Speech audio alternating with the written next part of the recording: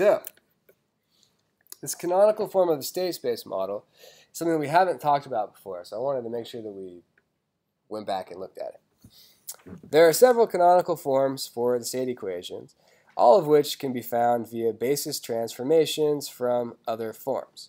So the phase variable canonical form is the one that we're going to need for this uh, state space controller design. Uh, the phase variable canonical form is represented by the single input, single output state model, B1, right here, uh, where the A matrix is of this form. Um, the, these are just parentheses. I don't. It doesn't need to be all of that gobbledygook. Uh, and so this is uh, the A matrix is a bunch of zeros and ones along the diagonal. It's actually it's just the off diagonals. Um, one row or, or, or one um, one diagonal above the primary diagonal of the matrix, and then the the bottom row is all.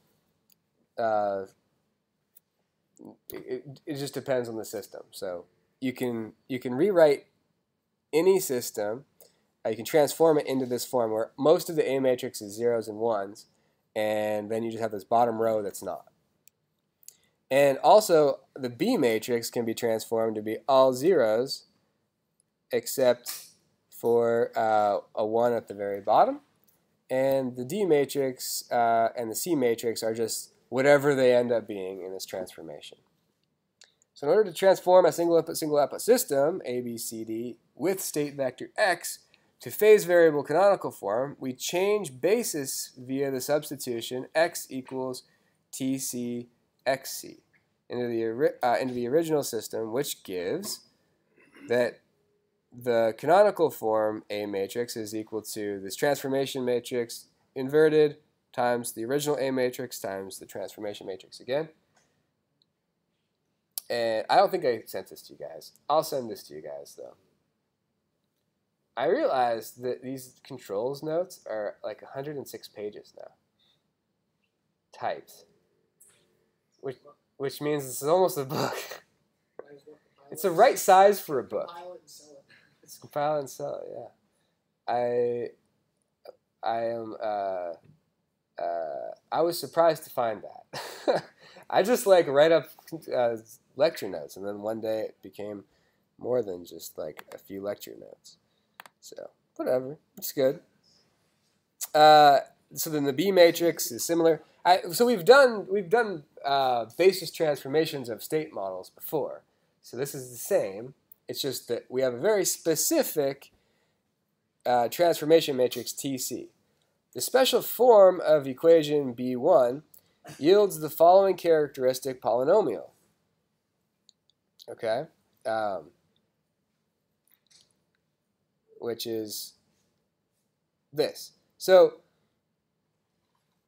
the reason that we that we, we do this is that this yields this exact polynomial, which depends all on these a's. Okay. Uh, recall that eigenvalues of a system are invariant to basis change. That's an important fact, something that we need to keep in mind always. Um, and therefore, so is its characteristic polynomial.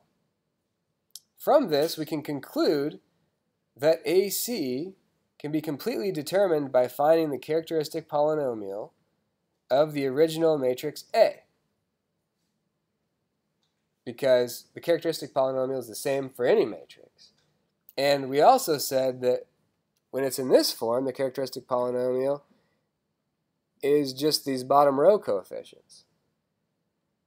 Therefore, we're going to see like the takeaway here in a second.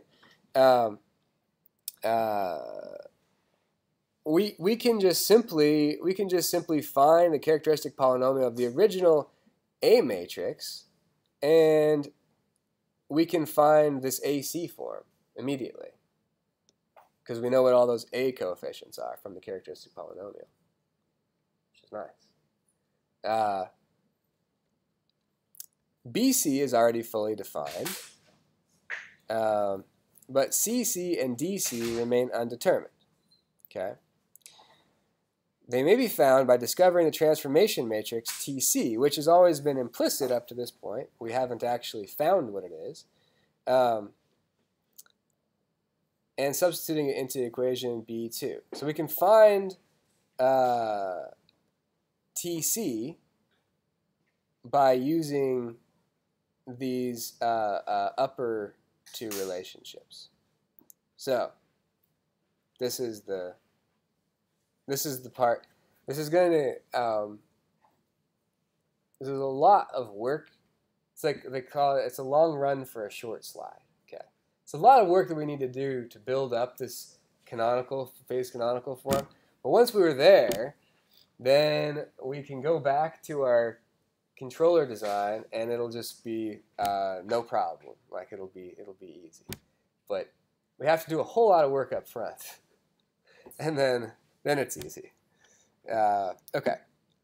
So the phase variable canonical form transformation matrix TC can be found by relating the controllability matrices of the original form and the canonical form.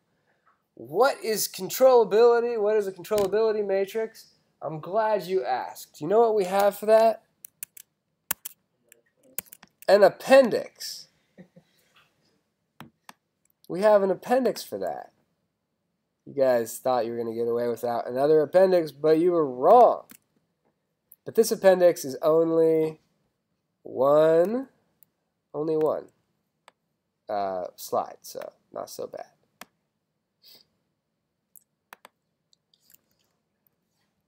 Okay. The three topics, controllability, observability, and stabilizability, are three topics of central concern to linear systems theory. Okay? So, we are just going to scratch the surface, but it's going to be worth having this discussion. So, controllability is defined as follows. If there exists some input to a linear system such that any initial state in its state space can be evolved in finite time to any final state in its state space. The system is controllable. Okay?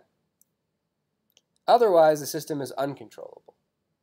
So if you could start at any state and evolve it in finite time, it could take a long time. But as long as you can get it from point A to point B in space, there are no, you can't pick two um, that you can't do that for. So you can always get from one to another in finite time, then you're controllable. If you can't do that, then it's uncontrollable. Okay? All right. Uh, a, a given system's controllability can be determined from the following. So there's this thing called the controllability matrix that, you know, I'm using the, I'm using the big marker to smudge out the silly stuff, but that's just a matrix. So let a linear system of order n and number of inputs r have the state space model A, B, C, D. So those are our ABCD matrices. We define the n by nr, so uh, the n r r is the number of inputs and n is the order of the system, right? So n rows and then n times r columns. Uh, the controllability matrix is this, and it's um, we use the script U as the controllability matrix. Um, so this matrix is we just stick the B matrix in and then the next uh, uh,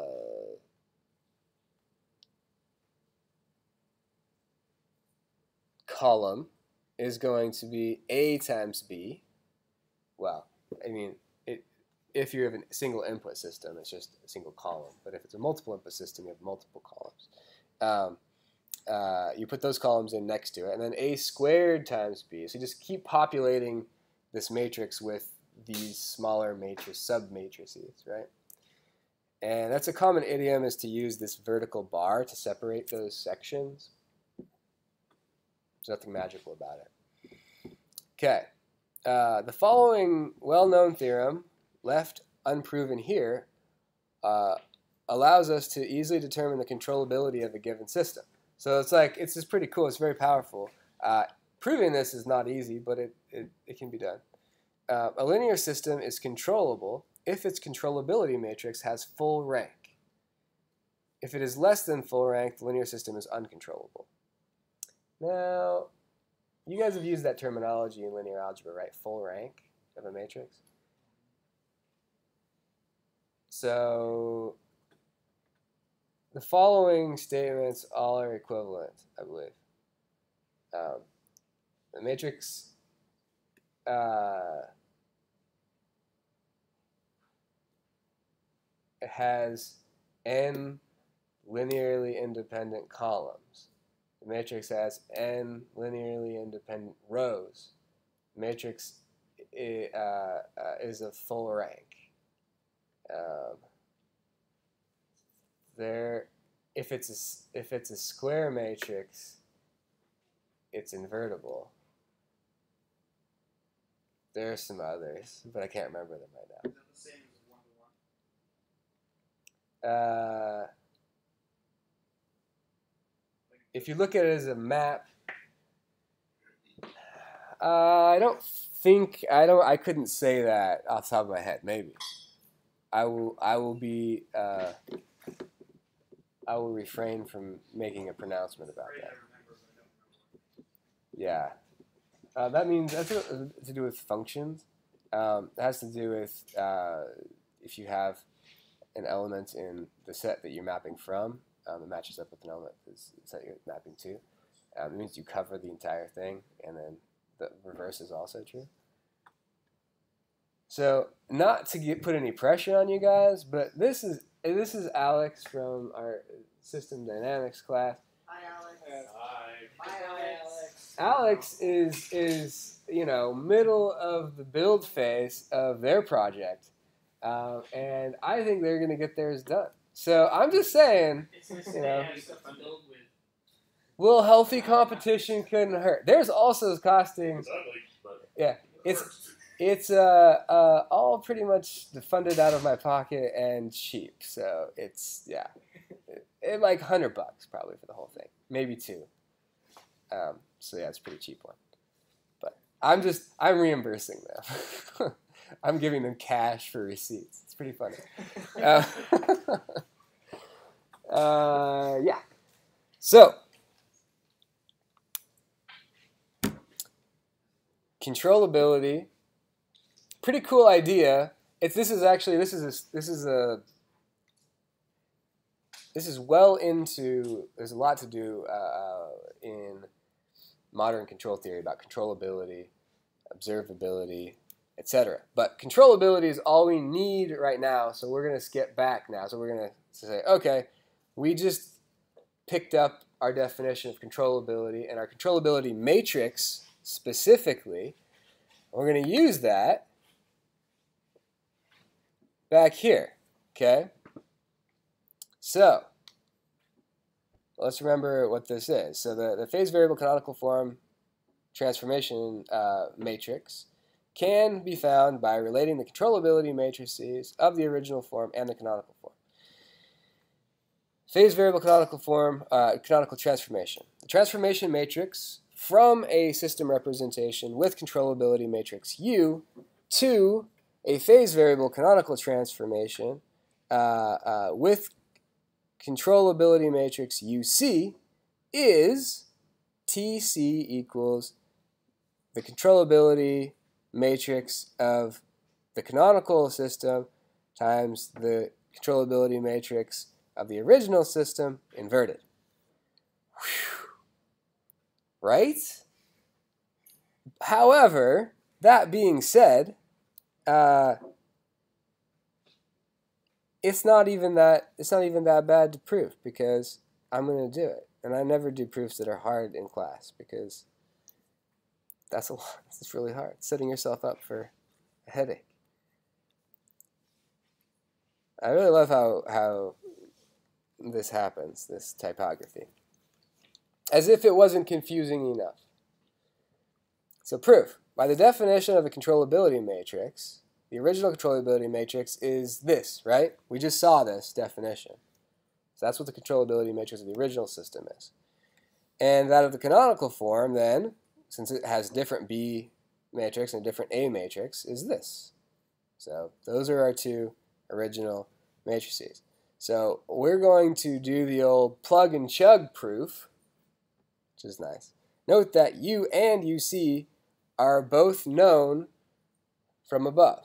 Okay, so we can know them and we can uh, then plug these plug these in. We relate the two forms by applying equation B2 to equation B6 to yield. So B2 is this transformation um, uh, to B6, which is this UC, and we yield this. So we plugged in what BC is in terms of B, and what AC is in terms of A, and what BC is in terms of B again, etc., etc. Keep going.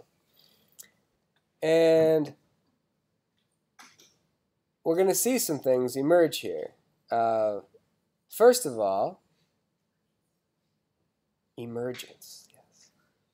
So first of all, do you notice that the B, so B there, B here, AB there, AB here in our original controllability matrix. A squared B, A squared B. So, etc., right? Those keep happening. So, if I was to multiply, left multiply this by TC, I would also get rid of all of these. That's maybe a property of matrix multiplication you don't know, is that you can distribute it through these submatrices on the left, and it cancels. So, so if we left multiply by TC, uh, we get the original U. So therefore, this is equivalent to just being TC times U, and then it's a simple inverse to, to solve for TC. So there's the proof. Just solving for it directly. So, now that I've convinced you that this is the transformation matrix that gets you to the canonical form, okay, uh, let's have a blank page. Um, oh, well, I guess we're done, right? We, if we have TC, then we have everything here. We have all of our, we have our canonical form, uh, A, B, C, and D matrices from our original A, B, C, D matrices. And we're done. No problemo, right? Just, we're done. I wish that I could blame that no problemo on like Sudafed or something, but I don't. I'm not. Haven't taken it yet. Anyways, uh, just fatigue and being having a cold. So we have TC. We have our canonical form of our state equation. So we can always we can transform into this. And now that I've convinced you that you can do that. Uh, the only thing that remains to be done is to find out why it matters that we can get it in that canonical form um, for finding our gains. That's what we're all about. We're all about gains here, right? Maxing and gains. Never skip like That's right. All right. Um, there we go.